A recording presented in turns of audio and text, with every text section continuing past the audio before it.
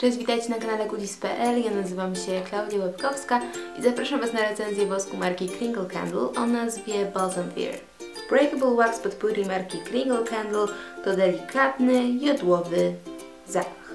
Zapach jest intensywny, ale zarazem bardzo, bardzo subtelnie i delikatnie unosi się w powietrzu. Kupicie go na stronie goodies.pl, tam też zapraszam Was po więcej informacji, a my widzimy się w następnym filmie.